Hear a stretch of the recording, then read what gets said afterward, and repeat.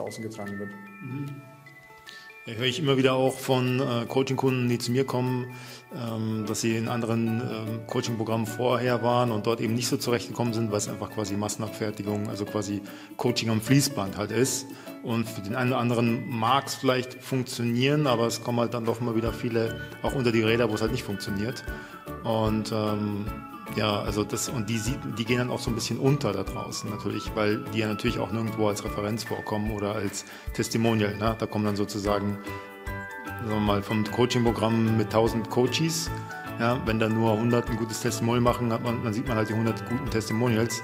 Aber die, die 200, 300, ähm, die es halt nicht gepackt haben, ähm, dann teilweise auch zum Bruchteil bei mir aufschlagen, von denen sieht man halt nirgendwo. Das ist ja auch ganz klar. Ne? Das ist ja nicht Teil des Marketingprogramms, dieses, dieses Monster-Coaching-Programms zum Beispiel.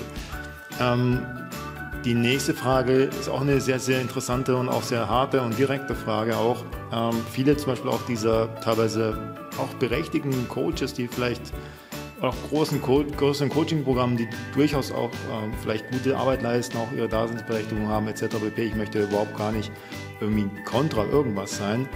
Ähm, was mir sehr stark aufgefallen ist, dass sie sehr oft äh, auch in ihrem Teil ihrer Marketingstrategie, Teil ihres Marketings, Statements, ihres Werteversprechens halt immer und immer wieder betonen, ähm, automatisiere so viel es geht deinen Betrieb, ja, löse dich von der Zeit für Geldkette. Ja, ein ganz großes Stichwort in sämtlichen Marketingbotschaften. Ich denke, ich würde mal sagen, aller Coaches, die es da draußen so gibt oder auch Mentoren oder auch Agenturen teilweise.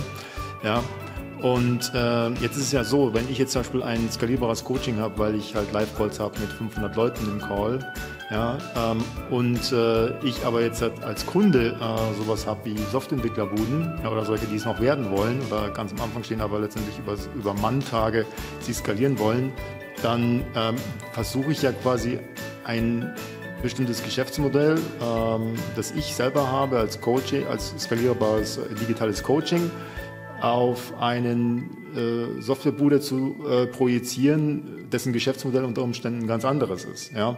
Also da sehe ich immer wieder die Diskrepanz. Ähm, wie oder was, wie siehst du grundsätzlich mal das Thema Zeit für Geldkette? Äh, inwiefern würdest du sagen, ist es ein Problem oder ist es überhaupt ein Problem? Ist es überhaupt äh, berechtigt, das so als äh, Marketing-Posaune quasi jedem unter die Nase zu halten? Du musst unbedingt Zeit für Geldkette lösen und so weiter. Oder ist es einfach fester Bestandteil ähm, des, Standardgeschäftsmodells einer eine Agentur oder eine Softwareentwicklungsbude? Oder gibt es da vielleicht alternative Sachen?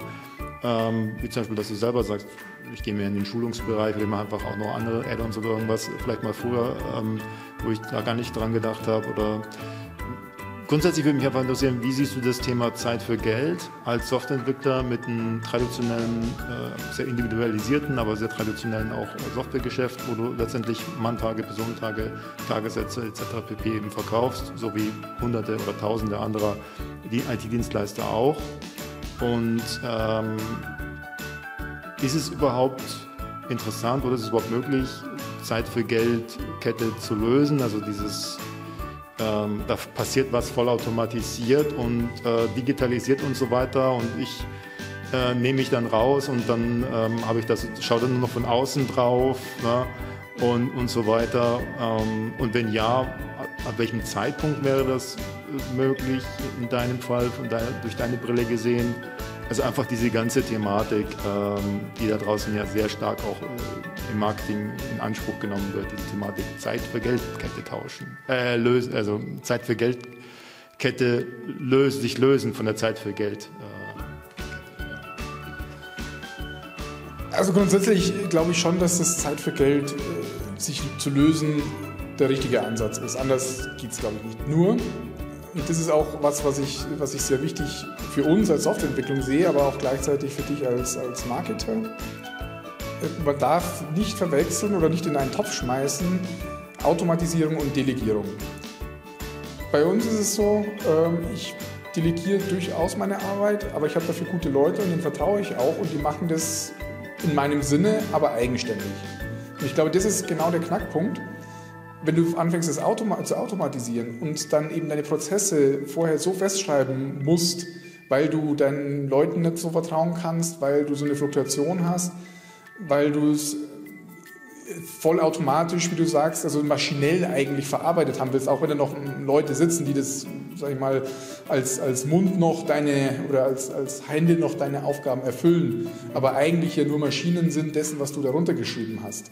In dem Moment hast du eine, eine Commodity und das ist vielleicht skalierbar, aber da hast du halt zumindest für unsere Kunden nicht die, die Qualität oder die, den Output dessen, was du brauchst. Was du brauchst, ist eben Delegation, dass du sagen kannst, okay, ich kann es meinen Leuten geben. Und die führen das so aus in meinem Sinne, wie, wie ich das gerne hätte. Ähm, die haben, sind architekturell so aufgestellt. Oder jetzt in deinem Fall äh, hast du ja auch ein paar Leute für Video, Content und etc. Genau, und die Sachen, die kommen ja raus und die sind ja die kann man ja hernehmen. Die sind ja, du hast ja nicht denen vorher so äh, vor, vorgegeben, klar gibt es eine gewisse Schulung, aber du hast ihnen nicht vorgegeben, wie die genau das zu tun haben, sondern die kommen da mit einem gewissen Talent wahrscheinlich schon rein, äh, verfeinern das Ganze noch und machen es dann eigenverantwortlich. Ich habe bei dir jetzt noch keine so genauen Arbeitsanweisungen gesehen, wie genau das, das sein soll. Und genau da finde ich, das ist der wichtige Punkt, wie man eben qualitativ skalieren kann. Das andere ist eben so Massenware. Ja, da wird es auch Abnehmer geben.